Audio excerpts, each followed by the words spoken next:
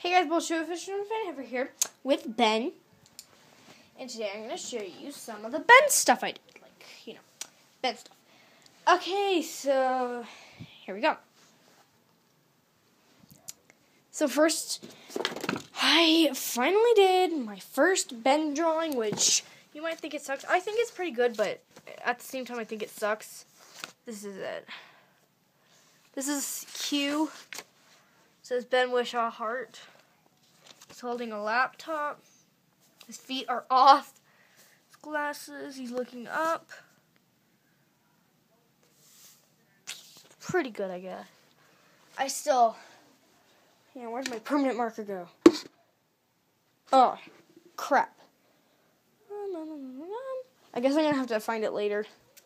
But um, I'm gonna color in his hair and his um, shoes. So that's my Ben drawing in my book. My first Ben drawing, which everybody's first drawing of something sucks, so I don't want to hear it. That it sucks. And well, I decided that I'll probably be Q for Halloween. Um, you know, Ben's part in Skyfall. So I don't know, like a girl version of Q, probably. Yeah.